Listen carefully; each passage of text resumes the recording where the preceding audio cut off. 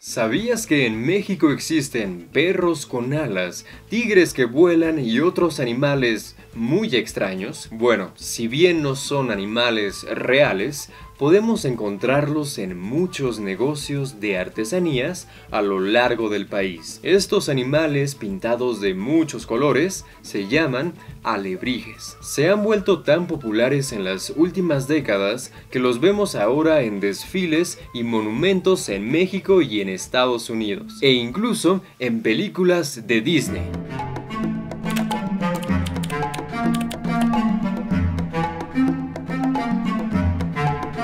¿Qué es un alebrije? Estas artesanías tienen forma de animales, tanto reales como imaginarios, y son pintadas con colores vibrantes y llamativos.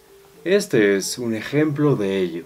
Aquí tenemos una iguana pintada con muchos colores y tal vez con un diseño un poco extraño. Usualmente los alebrijes están hechos de papel y cartón, pero en este caso, este está hecho de cerámica. Puede parecer que los alebrijes son parte de una tradición antigua, de alguna civilización prehispánica, pero en realidad son creaciones que fueron inventadas tan solo hace unos años en el siglo XX. El artesano y cartonero Pedro Linares López trabajaba en un barrio de la Ciudad de México en las primeras décadas del siglo XX.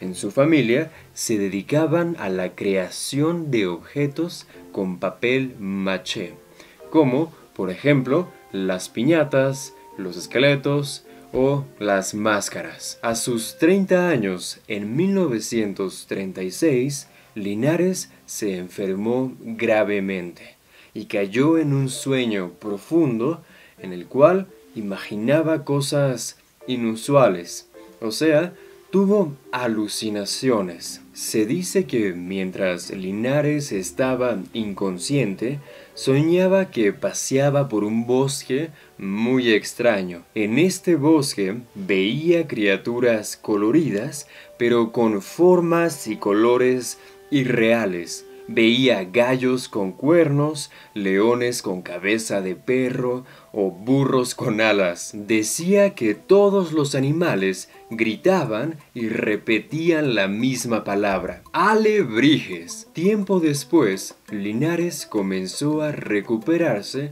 de su enfermedad y cuando volvió a trabajar, decidió reproducir aquellas criaturas fantásticas que había encontrado en sus sueños. Desde su pequeño negocio, poco a poco las artesanías comenzaron a ganar mayor popularidad. Así, otros artesanos a lo largo del país comenzaron a replicar este tipo de artesanías. Su trabajo se volvió tan popular y tan conocido que los pintores Frida Kahlo y Diego Rivera le pidieron crear algunos alebrijes para ellos. Hoy en día, la colección de alebrijes de los famosos pintores se encuentra en el Museo Anahuacalli en la Ciudad de México. Tiempo más adelante, en 1975, la cineasta británica Judith Bronowski realizó un documental sobre el trabajo de Linares, y así sus creaciones se volvieron aún más populares a nivel internacional. Tiempo después, en 1990, Linares recibió el Premio Nacional de Ciencias y Arte por su trayectoria artística y por su contribución al arte popular mexicano. Tan solo dos años después, Linares, a sus 86 años, falleció. Pero el legado y la tradición de los alebrijes siguió siendo parte del negocio o el trabajo de la familia. Es verdad que los alebrijes se originaron en la Ciudad de México y eran hechos principalmente con papel, cartón y engrudo, pero no tardó mucho en llegar a otros lugares del país donde le dieron un toque distinto a estas artesanías. En distintas partes de México podemos encontrar variaciones de los alebrijes tradicionales. Un ejemplo muy especial de esto son los alebrijes que vemos en el estado de Oaxaca. Ahí han combinado las tradicionales artesanías de madera tallada de la región con las creaciones de Pedro Linares. En vez de crear figuras con papel y cartón, en Oaxaca lo hacen con madera y en lugar de hacer figuras de animales fantásticos, se inspiran en la leyenda de los nahuales, seres míticos sobrenaturales que pueden transformarse en animales. La tradición creció y hoy existen comunidades especializadas en esto.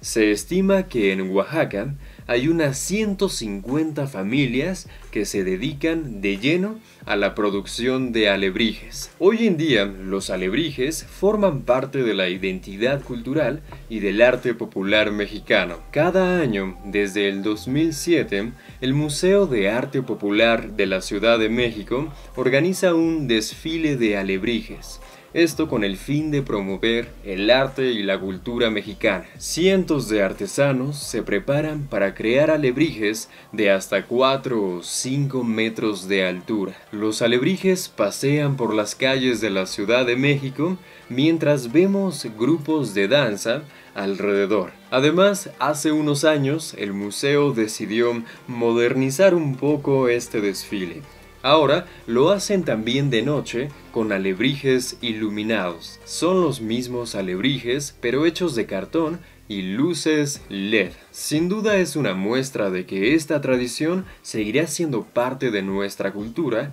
y seguirá expandiéndose a lo largo de México y el mundo. ¿Y dónde más hemos visto alebrijes? En la hermosa película de Pixar, Coco Ahí los alebrijes son criaturas que habitan el inframundo llamado Mictlán. ¿Ya las has visto? Ahora ya sabes que si viajas a México podrás llevarte uno de esos animales fantásticos como recuerdo. Si compraras un alebrije, ¿qué animal fantástico te gustaría tener?